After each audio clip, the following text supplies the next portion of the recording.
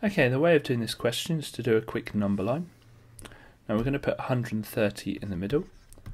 Now it's the nearest 10, so I'm thinking what would the next one down be? Well, if we had slightly less, if we had 128, it would still round to 130. So the next one down that it could have rounded to is 120, and the next one up it could have rounded to is 140. Now to find the intervals, uh, we're going to work out the halfway between the two. So I'm going to work out this one here and this one here.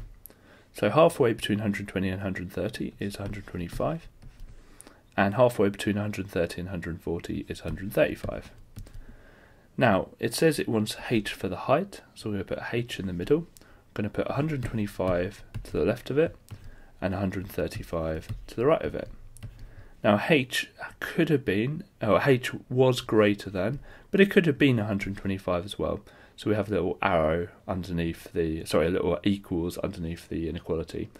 h was less than 135, but it couldn't be 135, otherwise it would round up to 140, so we don't put the equal sign there.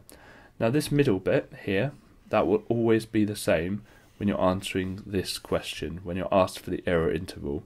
The letter here might change. Um, it might be fussy and ask you for a letter, or it might not. It might just say just use any letter.